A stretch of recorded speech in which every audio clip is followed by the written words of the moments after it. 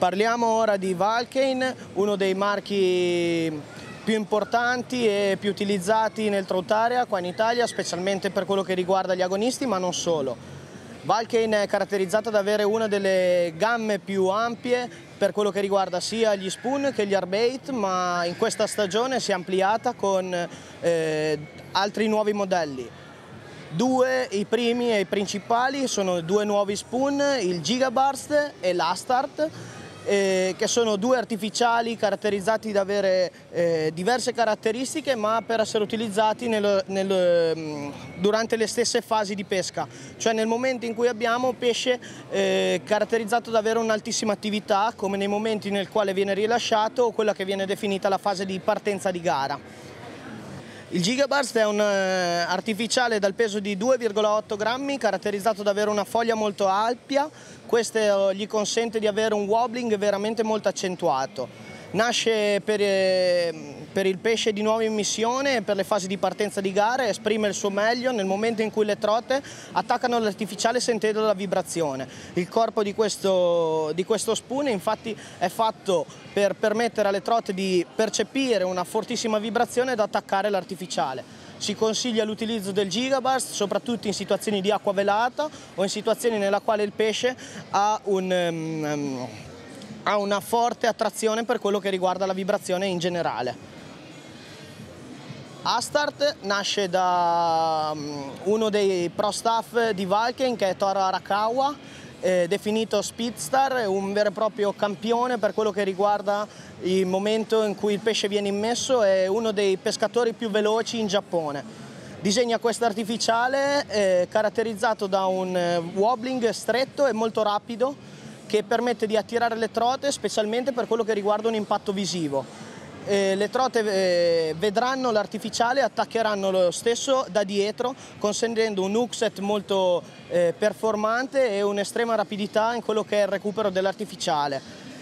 con il pesce agganciato. Si consiglia di utilizzare l'Astart eh, che è del peso di 2,4 grammi, specialmente in situazioni nella quale abbiamo pesce molto attivo in acqua limpida, poiché il, ehm, il massimo della sua attrattività è proprio data dall'impatto visivo dell'artificiale stesso.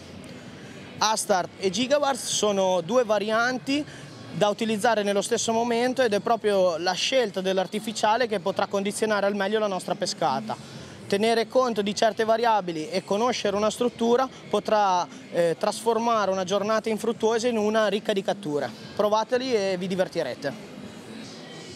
Una delle novità principali di quest'anno è che Valken finalmente ha creato quello che è un Metal Vibe, il primo all'interno della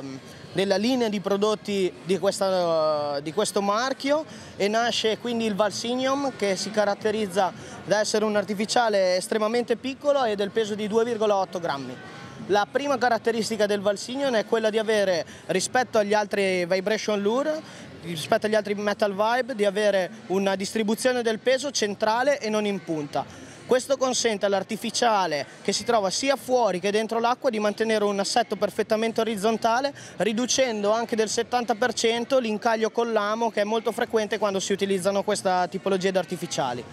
È caratterizzato da avere due inneschi differenti, un innesco frontale molto più congegnevole per quello che riguarda i recuperi a shaking, quindi a, a, piccoli twitch sul fondale e per quello che riguarda i recuperi di trascinamento sul fondo. Ha invece un secondo innesco eh, in posizione centrale per quello che riguarda i recuperi a bottom bumping e a recupero digitale. È un'esca estremamente duttile ed estremamente divertente che ha, è arrivata sul mercato da pochissime settimane, è già stata utilizzata dagli agonisti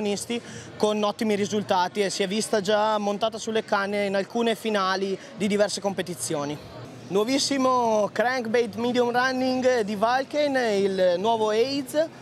come medium running si caratterizza ad avere una polivalenza di utilizzo estrema, andiamo a utilizzare questo crank dalla forma molto ridotta ma in grado di generare tantissime vibrazioni quando ci troviamo a dover stimolare del pesce che non è più eh, ben disposto ad attaccare gli spoon. L'AIDS può essere utilizzato con diverse inclinazioni della canna e va a rispondere a diverse altezze mantenendo un'estrema stabilità sia nei recuperi più lenti che in quelli più veloci. Se utilizzato con la canna rivolta verso l'alto questo piccolo crank lavorerà a 30 cm sotto il pelo dell'acqua. Utilizzato invece in ginocchio con la canna inserita dentro l'acqua potremmo raggiu far raggiungere al nostro piccolo crank eh, anche la profondità di 1,20 m